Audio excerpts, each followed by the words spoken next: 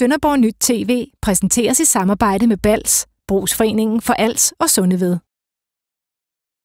I Sønderborg-området er der rigtig mange mennesker, der er frivillige, og ulønnet gør en stor indsats i de mange foreninger her i Sønderborg Kommune. Det kan være som spejderledere, gymnastikinstruktører, fodboldtrænere, men det kan også være inden for hele det sundhedsmæssige og sociale område. I Frivillighedens Hus i Perlegade, der har kommunens frivillige konsulent til huse, og han hjælper foreningerne i deres daglige arbejde. Og ham kan du høre om et øjeblik, når vi snakker med ham om, hvad det er, han helt præcis gør, for at de frivillige foreninger får de bedste vilkår her i kommunen. Vi har også snakket med Red Barnet og Sind i Sønderborg, som sagtens kan bruge flere medlemmer, og ikke mindst kan bruge flere frivillige, sådan at de kan skabe nogle flere aktiviteter for dem, der er medlem af deres foreninger. Og de er i øvrigt ikke alene om at skal bruge frivillige. Det skal de frivillige brandværn i Sønderborg Kommune også, og det fortæller Sønderborgs beredskabschef om det senere, når vi vender tilbage her om et øjeblik på Sønderborg Nyt TV, hvor vi altså snakker om de frivillige her i Sønderborg Kommune. Månedens køb er blandt andet en pose kimsnødder til 14 kroner, 700 gram hakket oksekød 5-8% til 59.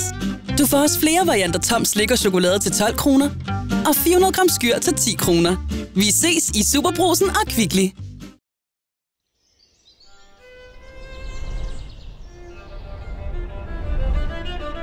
Når du er tæt på, kan du mærke det.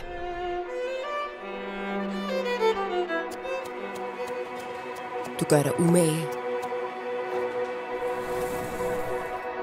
Og du giver ikke op.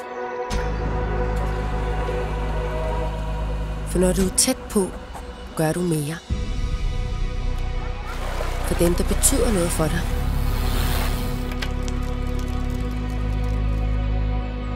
Og for fremtiden, der er lige rundt om hjørnet.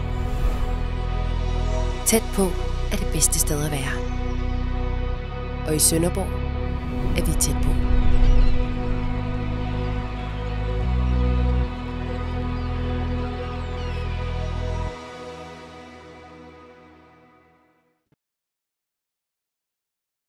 Sønderborg Nyt TV præsenteres i samarbejde med Bals, Brugsforeningen for Als og Sundeved.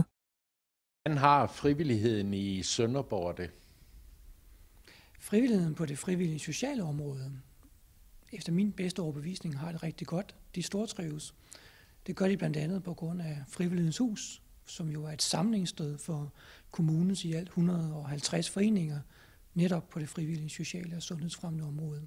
Hvad, hvad bruger foreningerne huset til? Huset det bruges til mødeaktiviteter, hvor man planlægger sit årsjul som forening. Hvad for nogle aktiviteter skal man have afviklet i løbet af året? Det bruges til bestyrelsesmøder og generalforsamlinger. Men det bruges også til afholdelse af forskellige aktiviteter.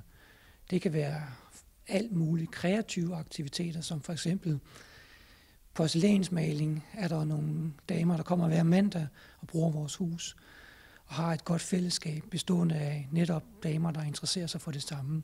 Det kan være strikkefællesskaber, det kan være madfællesskaber. Frivillighedens Hus råder over et rigtig stort undervisningskøkken, hvor foreningerne ofte booker til, til blandt andet at kunne øh, lave mad sammen med andre foreninger, men også for deres medlemmer.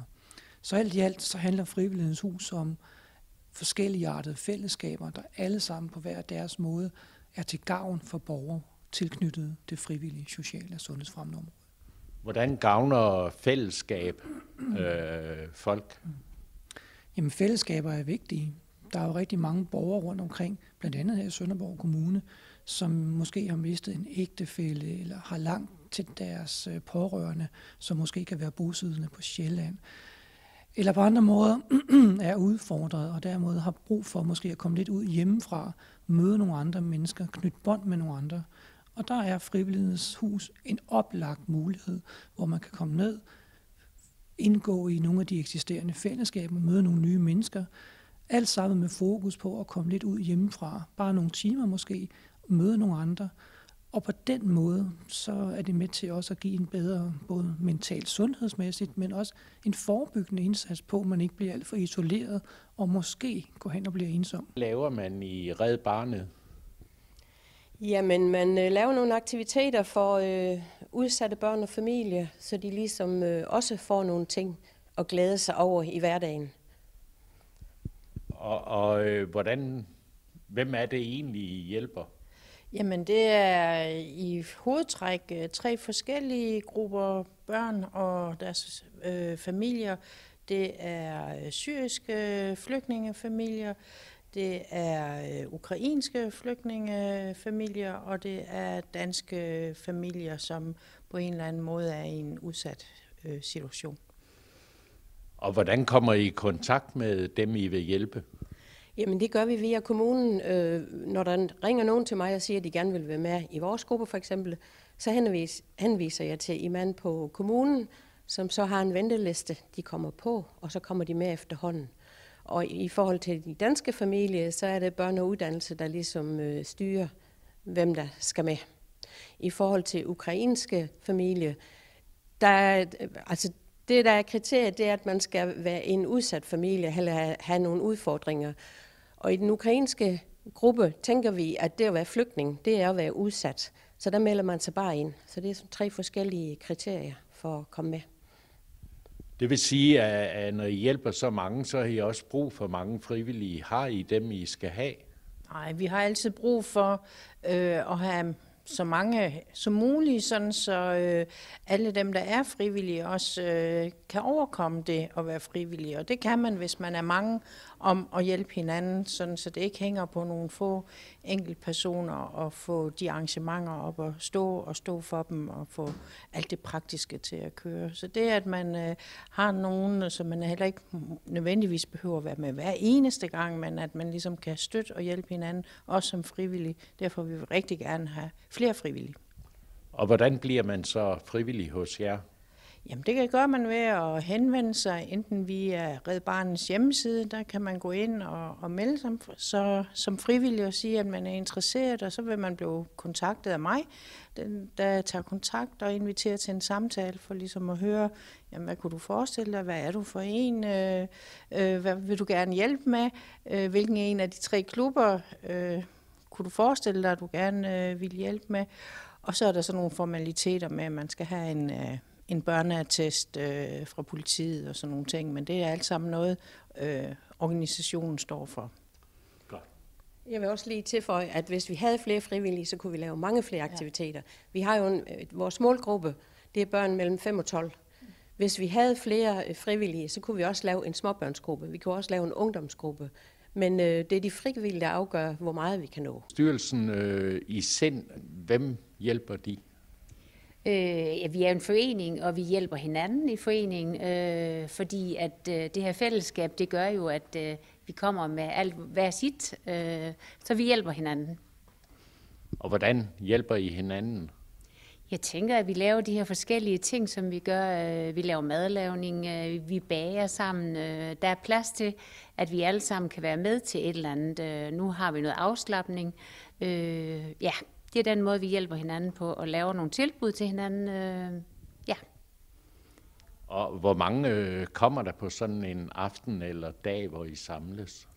Øh, til madlavning, der kommer der omkring 10-20 stykker. Øh, til andre ting, der er det meget forskelligt. Vi har gåture også. Øh, det handler om også lidt om, hvordan vejret er. Øh, ja, det er meget forskelligt. Nu er der jo masser af foreninger, der kommer her i huset. Øh, laver I nogensinde noget sammen med andre foreninger? Ja, det gør vi. Vi laver et fællesskab i forhold til det her med at lave mad, øh, og det giver rigtig, rigtig meget på tværs imellem foreningerne. Og skulle man have lyst til at blive medlem hos jer, øh, hvordan bliver man det? Hvis du øh, googler sind, øh, så kommer du ind på hjemmesiden, og der er der et, øh, et sted, hvor du trykker, hvis du gerne vil være medlem, og der kommer du så videre og skal udfylde det her. Frivillige brandmænd, det er der jo også nogen, der er. Hvad laver de? Jamen altså frivillige brandmænd, de slukker jo ildbrand. Det er deres øh, primære opgave, og det gør de jo ude på de her frivillige stationer rundt omkring i kommunen. Der er mange. Vi har 13 øh, stationer, og der har vi cirka 400 frivillige, der hjælper mig med at slukke ildbrand. Og det vil sige, når der bliver ringet, øh, jamen, så kommer de farne, det gør de jo også til trafikuheld og andet. Ja, de har jo et beredskab, øh, de skal opretholde. Øh, de er på kontrakt med Sønderborg Kommune, så det vil sige, at de er forpligtet til at køre, når vi enten har brænde, eller færdsuheld, eller værlige. Alle de her ting, som kræver et beredskab, det hjælper de til med. Der kunne godt være mange, der havde lyst til at blive frivillig brandmand og være heltene, der slukker ilden og redder det hele. Hvordan bliver man frivillig brandmand?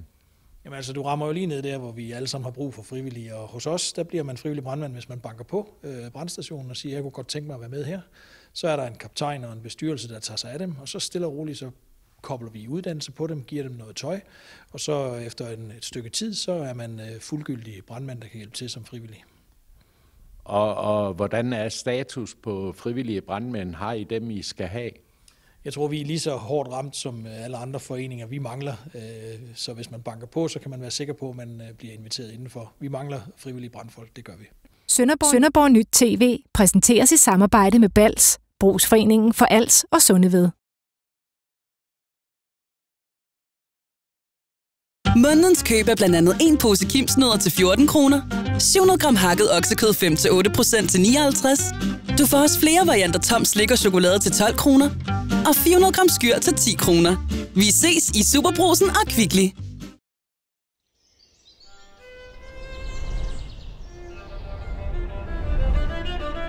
Når du er tæt på, kan du mærke det.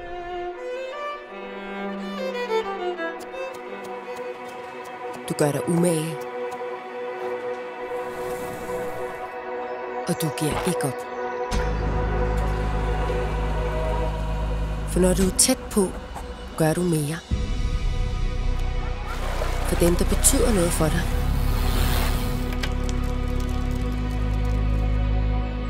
Og for fremtiden, der er lige rundt om hjørnet. Tæt på er det bedste sted at være. Og i Sønderborg er vi tæt på.